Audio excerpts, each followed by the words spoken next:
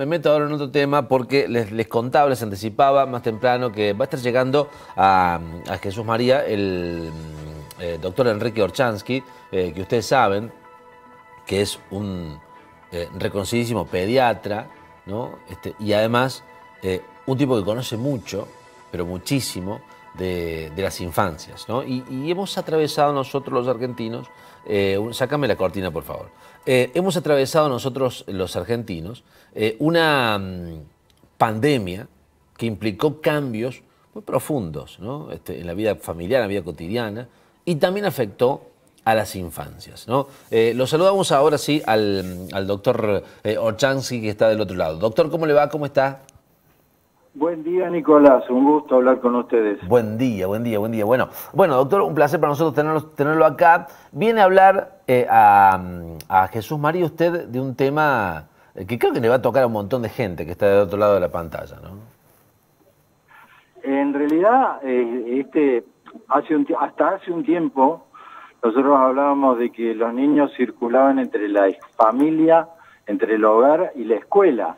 Em, doctor, me decía, perdón, se cortó justo en, en el inicio, eh, usted iba introduciendo la, la charla que va a hacer esta noche. Sí, perdón por la interrupción. Yo les decía que antes era fácil hablar de los niños y niñas porque transcurren en dos ámbitos nada más, en la escuela, en el hogar y en algún club o en alguna reunión deportiva. Ahora hay que incluir las pantallas como un ámbito habitual. Y después de un periodo de, en donde nos sacudió mucho un, un evento que nos puso en peligro a todos. Entonces, ¿cómo han quedado los chicos después de esto, cuando afortunadamente el virus no les afectó severamente, el virus como enfermedad, Claro. pero sí la ausencia de un ámbito indispensable que fue la escuela y la sacudida brutal que fue en cada hogar. Así que para hacer una alianza con las familias nos juntamos a charlar, a conversar, a ver la realidad y ver cómo afrontamos para que estos chicos estén mucho mejor que antes. Eh, hoy, mm, doctor, creo, yo soy papá de una nena de seis años, ¿no? este, y lo escuchaba en algunas charlas que ha dado usted y uno se siente tocado. Digo, cada vez más chiquititos eh, están en un contacto mucho más fluido que con el mundo adulto, este, con las pantallas, los chicos, ¿no? Mm. Eso es eh, importante dentro de un contexto. El mundo de adultos y el mundo de los niños eh, está desconociendo límites. Es como que se están borrando los límites entre un mundo y otro. Y hay mucho adulto peleando contra envejecer y mucho niño queriendo crecer rápido o por lo menos hacer cosas de grandes. La tecnología es muy tentadora, muy tentadora. Sí, sí.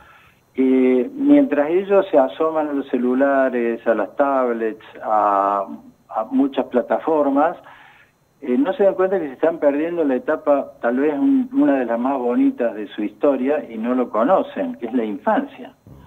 Están dejando de hacer cosas de niños, están eh, olvidándose de jugar, que no es estar entretenido, no es lo mismo. Estar entretenido es estar en TikTok, en Instagram o en la Play. Perdón, estoy, estoy con una señal muy mala acá. No, no hay ningún problema, doctor. Bueno, me decía, ¿no? Eh, est- la diferencia de estar entretenido de mm, eh, jugar, ¿no? Que, que, claro, los chicos no juegan ya. Ese es, eh, ¿Sabés qué es la, la pérdida más grande de este siglo? Es el juego.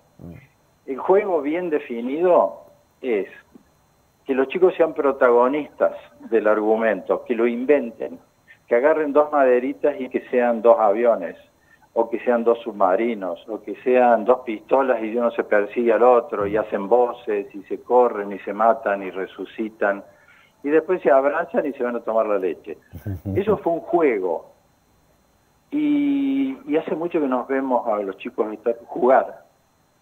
Tal vez a los dos años, a los tres años, cuando uno los ve en un rinconcito inventando, haciendo ruidos y jugando con dos piedritas. Pero después, eh, lamentablemente y en coincidencia con la entrada al cole, se olvidan de jugar para hacer todo lo que tienen que hacer y se empiezan a quedar solos. Solos en el sentido de nacen muchos menos chicos que antes, muchos menos. A principios del siglo XX nacían ocho niños por mujer. A mediados del siglo XX empezaron a nacer promedio cuatro niños por mujer y en este momento estamos en 1,5 por mujer. Hay menos hermanos, hay menos, eh, menos hermanos para pelearse, menos hermanos para, para entrenarse en lo que va a ser el futuro.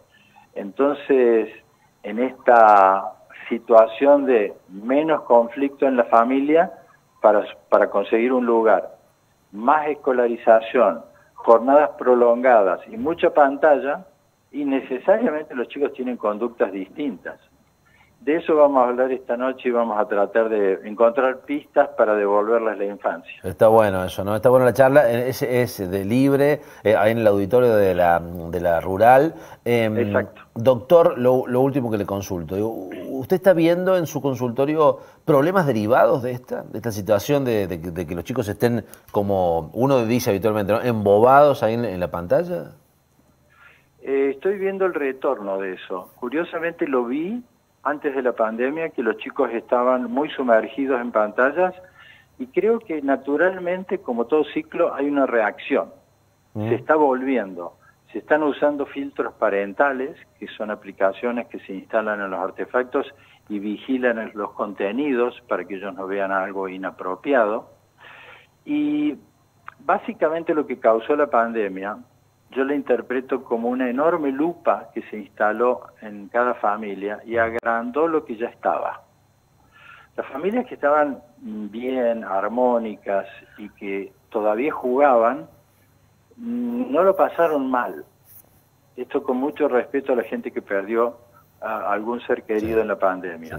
Hay gente que se, se unió más, se consolidó pero hay otras familias, otros núcleos que venían un poquito golpeados, desarmados o en desacuerdo, y esa lupa los hizo estallar. Hubo muchas diferencias, hubo mucha, eh, muchas realidades distintas, y a cada una, eh, bueno, estamos viendo qué pasó con los chicos en este momento.